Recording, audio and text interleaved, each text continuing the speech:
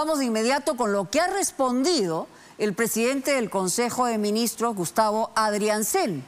Él ha hablado precisamente de este automóvil que en la foto se ve claramente y ha ratificado que es del despacho presidencial.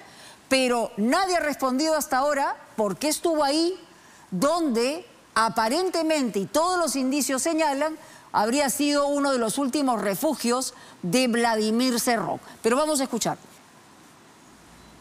Refiriéndome a los vehículos precisamente, quisiera aprovechar esta oportunidad para aclarar las razones por las que un vehículo de la Guardia Personal de la Seguridad del Estado asignado a la señora Presidenta fue ubicada en el distrito de Asia, al sur de Lima. Compatriotas, la señora Presidenta es la única funcionaria pública que está obligada, como jefa de Estado, por su seguridad personal, a trasladarse en vehículos oficiales para realizar todas y cada una de sus actividades, sean oficiales o de carácter personal.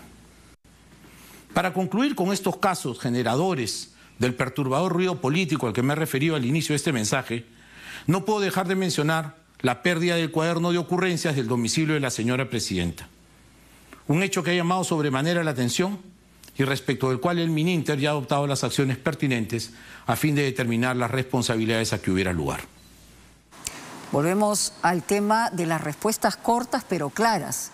Hay que saber por qué estuvo ese automóvil en este lugar cerca de donde habría sido el último de los refugios de eh, Vladimir Cerrón, en ese grifo, además al lado de otro vehículo que hemos visto también recientemente, una camioneta que utilizó la propia presidenta para ir aparentemente a resolver alguna consulta legal con el que ahora es su abogado, Mateo Castañeda. Es decir, hay respuestas que pueden ser simples y directas. Lamentablemente, en términos políticos, aún no las recibimos con claridad que está en una situación difícil el presidente del Consejo de Ministros porque tiene que ir el 3 de abril a presentarse ante el Congreso, pues evidentemente sí.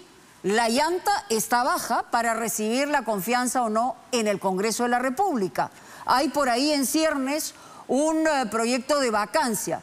Lo cierto es que sí hay un escándalo, hay ruido, porque todavía no hay respuestas claras de parte del gobierno respecto a los temas específicos que han sido parte de la información periodística en las últimas semanas. Ojalá la Presidenta de la República encuentre el camino claro y directo para señalar efectivamente con transparencia dónde y cómo adquirió esos Rolex, de dónde los pagó, si es un regalo, no es un regalo, si es un novio, no es un novio o en todo caso por qué estos vehículos estuvieron en el lugar donde cerca aparentemente estaba este señor que está prófugo de la justicia y como hemos dicho, el señor Cerrón se burla todos los días a través de las redes sociales. Y nos vamos al